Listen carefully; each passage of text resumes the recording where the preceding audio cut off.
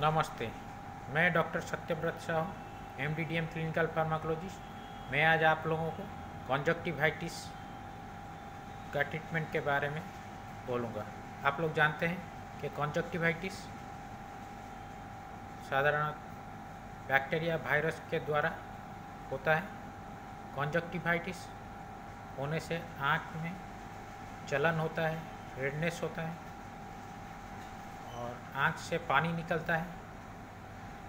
आँख में आई लिड में स्वेलिंग हो जाता है। हम लोग कॉन्जक्टिवाइटिस को मैनेजमेंट करने के लिए साधारण हॉट वाटर में क्लीन कपड़ा डाल के उसमें हम आँख में सेक दे सकते हैं। आँख के ऊपर, उसको लगाने से 10 मिनट, दिन में तीन बार लगाना पड़ता है। ऐसे लगाने से हमारा आँख को राहत मिलता है।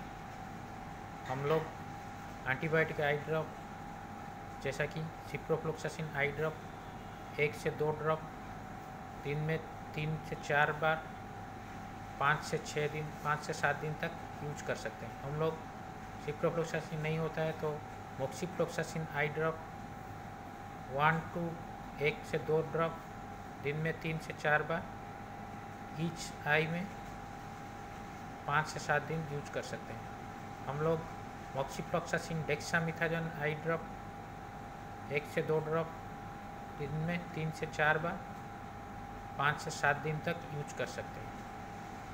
हम लोग चाहे तो टैबलेट लिवोसेट्रिजिन फाइव मिलीग्राम दिन में एक बार खाने से पहले पाँच से सात दिन खा सकते हैं।